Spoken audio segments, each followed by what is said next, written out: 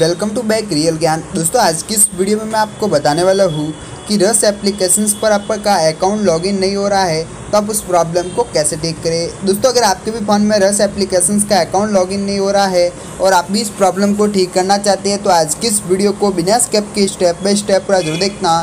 तो चलिए, आज की इस वीडियो को शुरू करते हैं। वीडियो को शुरू करने से पहले आपको छोटी सी रिक्वेस्ट है आपने चैनल को देख सब्सक्राइब नहीं किया तो चैनल को जाकर सब्सक्राइब कर लेना।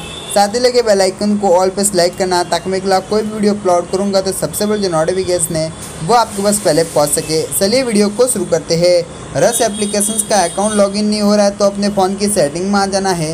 एक ऑप्शन देखने को मिलेगा ऐप का, ऐप में आपको आ जाना है। जो भी ऐप रहेगी, आ जाएगी। सिंपली सर्च बार में सर्च करना है और सिंपली ऐसे आपको सर्च कर लेना है रस ऐप।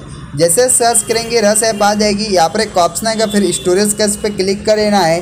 क्लियर डाटा का ऑप्शन आएगा इस पर क्लिक करके ओके पे क्लिक करना है। ओके पे क्लिक करेंगे, जो भी प्रॉब्लम रहेगी सॉल्व हो जाएगी। उसके बाद में आपके फ़ोन में रस एप्लीकेशन का अकाउंट लॉगिन स्टार्ट हो जाएगा। अगर आपके भी फ़ोन में रस ऐप का अकाउंट लॉगिन नहीं हो रहा है तो आप भी इस प्रॉब्लम को कुछ इस प्रकार से ठीक कर सकते हैं।